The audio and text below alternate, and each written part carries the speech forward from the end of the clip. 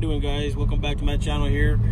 Uh, i'm gonna make this review on the drop kit that i got in my truck. I get asked a lot if it's a you know if it's a rough rough ride and uh, i mean it's drop guys and when you drop your vehicle uh, it does get a little rougher on some you know some part of the roads here.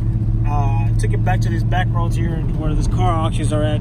When i normally work on my truck and make and uh, do some change like when i change my my uh, my brakes and when I got my you know exhaust uh, and with the headers, I bring them back to this road here, to the back roads here, and just try to get the true sound of it. And uh, uh, anytime I do the oil change and stuff like that, you know, I come back in these roads here and just uh, come back here for you know go for a cruise back here.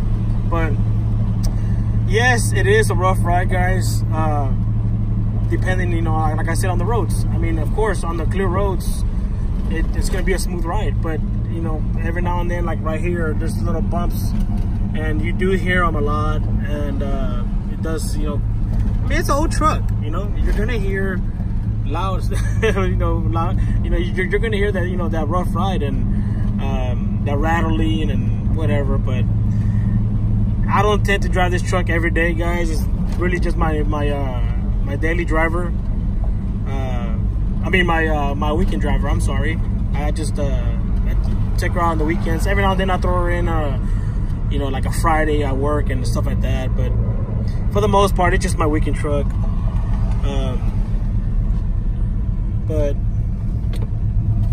let me see. Hold on. Let's try to see if I can turn around here and try to see if I can. Uh, you know what, guys? I've never, honestly, I have never really. I'm trying to remember if I had, if I slammed it, you know, on the on the on the stop, you know, to to see how fast it goes. Because normally I just cruise it, guys. Like I said, I don't ever slam it. It's just a cruiser. Um, but I have never really raced it or against anybody, uh, stuff like that.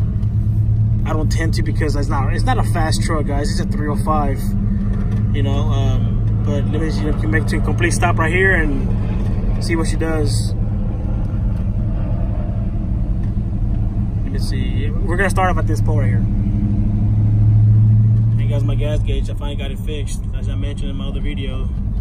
So we're gonna come to a complete stop here and see what she does. Let me try to see if I can turn her around.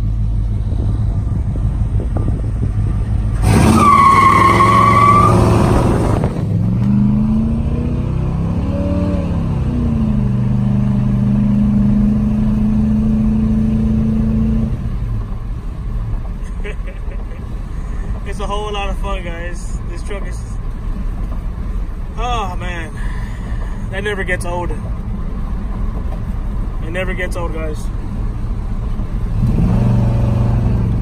And it's very responsive too. I mean, like I said, it's not the fastest. I don't tend to make it faster. I mean, I'm probably gonna go LS, you know, in a couple of years or whatever. I'm not in a hurry to do any of that. Uh, the motor seems to be fine. You know, to me, it's don't fix what ain't broken. And uh, like I said, it, it, sounds so good too. I mean, as soon as you, man, I'm talking about this truck responds right away, guys. It's, like I said, just a whole lot of fun.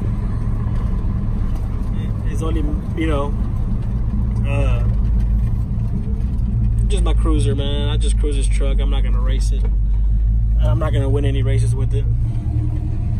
Um, but I think that's gonna be it, guys. Just gonna make this little quick video here. See if I can slam it again.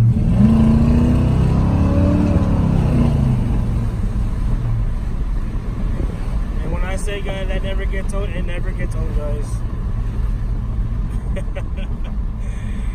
Alright guys, I'm gonna cut this video off here. Uh, and as always, like and subscribe. And as always, guys, God bless. Y'all take care, guys.